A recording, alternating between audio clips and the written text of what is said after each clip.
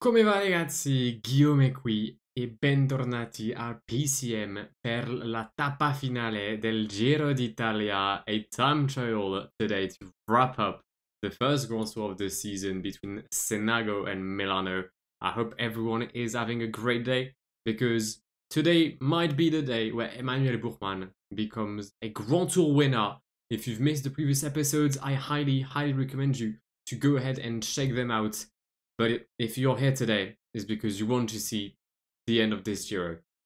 And I'm not going to make you wait any longer. Let's go. And the time trial has started. Riccardo Minali is the first rider to go, and he is actually, in real life, the Maglia Nera of this Giro d'Italia. Last place on both PCM and Giro. I believe that that is an achievement. Uh, our first rider to go will be Maciej Bodnar. My recons will be done most likely with Bodnar, Grosschartner, potentially Fabro, as uh, in case of a good day, the Italian has very similar stats to Buchmann for the temporal and the flat element.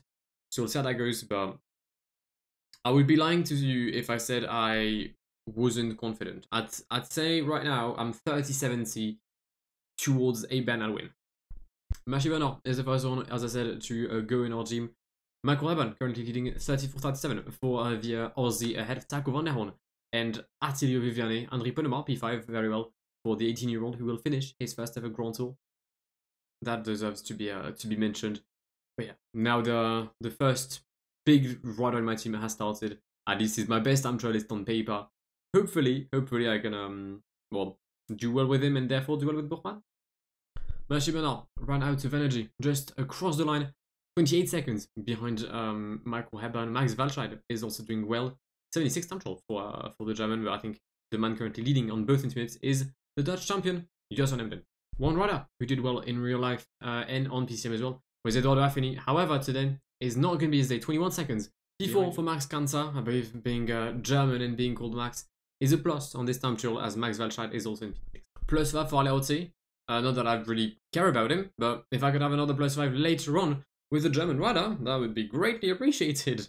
Um, but following Aleotti is going to be Victor Campenaerts, one of the main favorites for today's time trial alongside uh, Rémi Cavagna, the French champion, and Filippo Ganna, who both start in around 10 positions now, I believe. But yeah, the main three favorites will be on the road at the same time.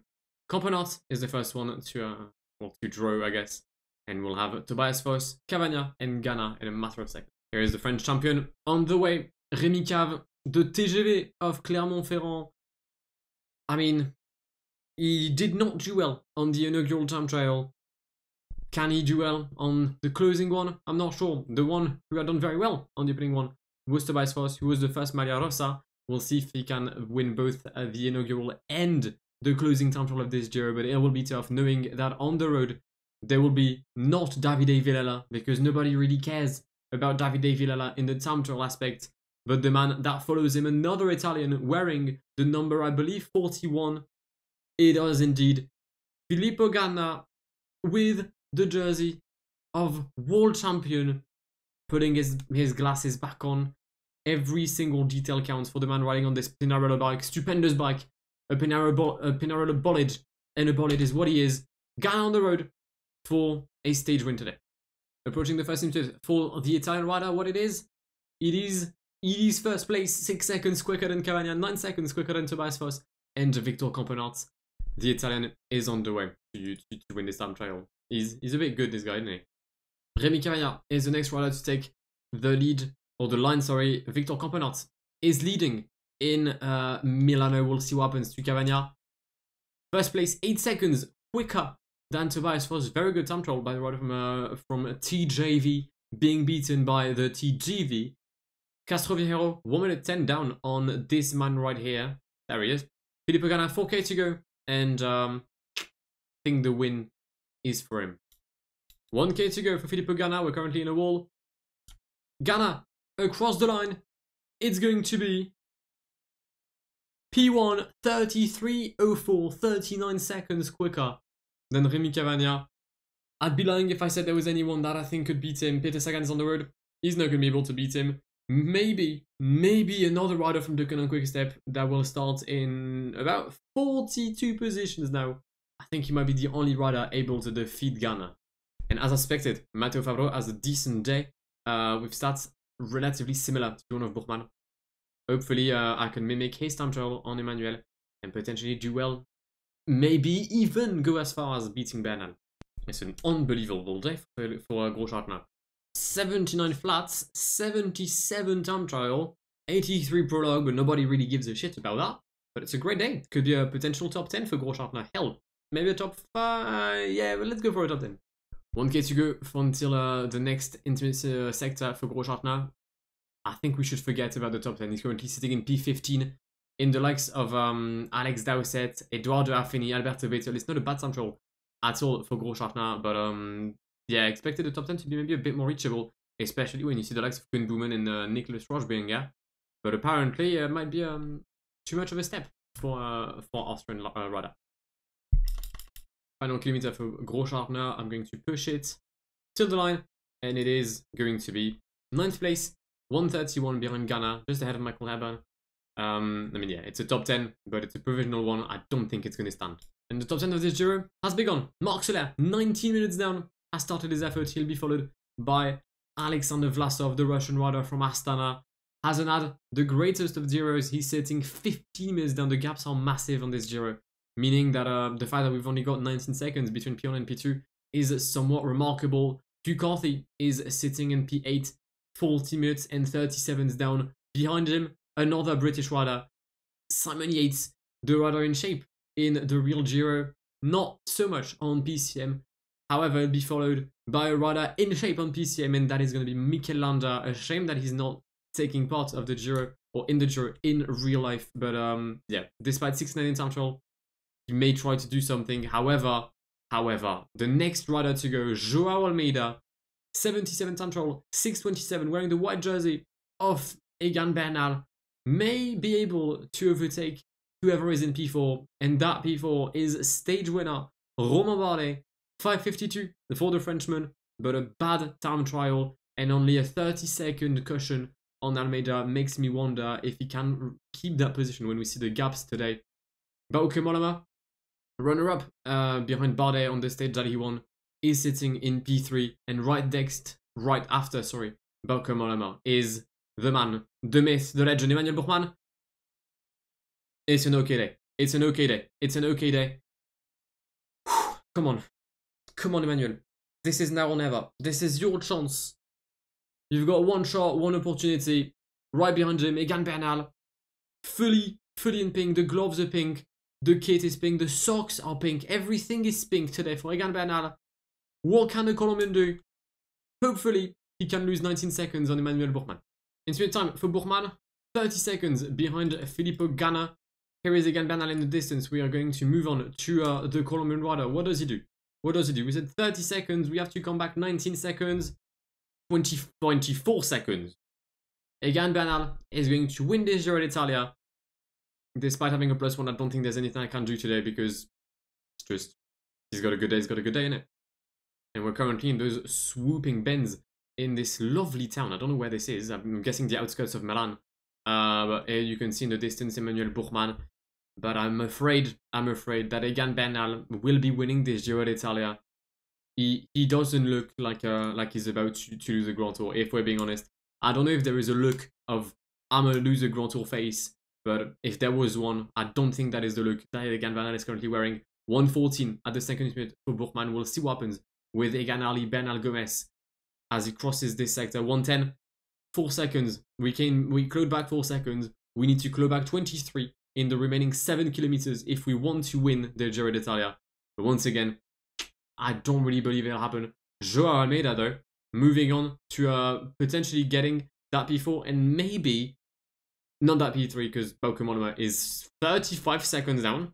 Final kilometer for Emmanuel Buchmann. He's given everything on this Giro d'Italia.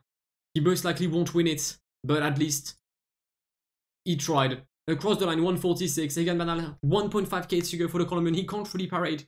He can't really enjoy the moment but he most likely will, as he will cross the line. Let me just make some quick mathematics. 146. Bernal needs to finish within 2 minutes and 5 seconds of his teammate Filippo Ganna. Egan Bernal, across the line. 207! 2 minutes 7! 2 minutes 7!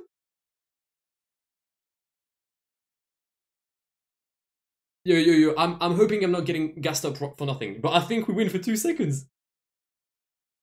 I think we win for two seconds. Come on! Emmanuel Buchmann is a Grand Tour winner for two seconds. The amount of time PCMs have shagged me. And I take my revenge on the last Grand Tour on PCM 2020. What a way to wrap up this game. Egan Bernal second of the GC for two little seconds. Oh my god. Oh my god. Hey, I can't believe it. Fausto Masnada wins the Maglia Azzurra. Peter Sagan is going to win Ciclamino. What on earth just happened? we just won the Giro d'Italia for two seconds? There has been no wide classification. No, the, the best Guada? Oh, there is, but he's got no jersey. Is it because he lost it tonight? I don't know, but Egan Bernal wins the best Guada classification. At least he won't leave this Giro empty-handed, but that's not the jersey he wanted to bring home. What an hell! What an hell! Oh my god. Bahrain Victorious will leave this Giro victorious uh, by winning the team classification. I can't believe it. Cannot believe it. Filippo Ganna wins this time trial ahead of Joao Almeida, Remy Cavagna Tobias Foss, Victor Campenaerts is in P6, De Gendt in P5, Jan Tratnik, Hugh Carthy with a very, very nice 8th position. Paddy Bevin and Damiano Caruso in P10. Oh, come on, I'm P13. I don't know how that happened, sorry. P12. Uh, but... I'm not gonna lie, yeah? I mean, I, I, you, you saw my reaction. I didn't think that was gonna be a thing. Especially when I was 16 seconds down after the first 20 minutes. I was not six, I was 6 seconds down. Then 4, and in 7 kilometers I had to claw back 23 seconds. And Emmanuel Buchmann clawed back 20 wait 21 seconds yeah so he did claw back at the end 25 seconds 21 plus 4 to win the Giro d'Italia what on earth what on earth happened